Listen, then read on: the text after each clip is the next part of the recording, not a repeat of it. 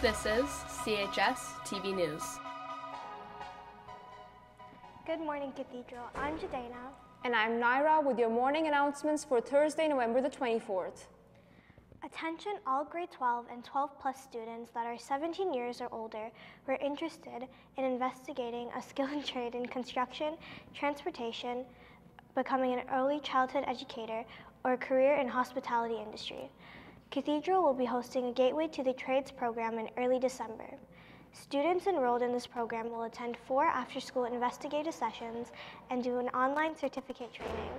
All that is required in 12 hours of your time after school exploring these areas, and in return, you will receive $500 towards tools and equipment. Space is limited to 20 students. Please see a guidance counselor to see if you are eligible ASAP.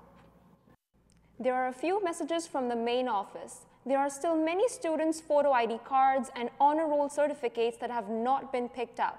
Please pick up your photo ID card and honor roll certificate from the main office during your lunch.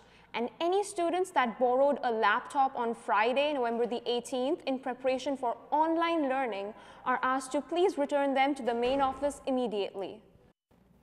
The junior girls volleyball team will practice today at 4:45, and the junior boys basketball team will practice today at 3:15 p.m. and tomorrow at 7:50 a.m. Please let the coaches know if you are not going to be attending.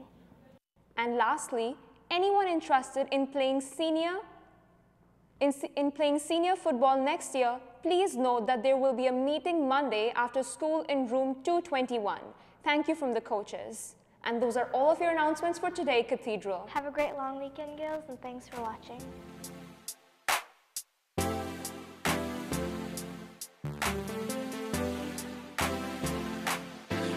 We just talk? Can we just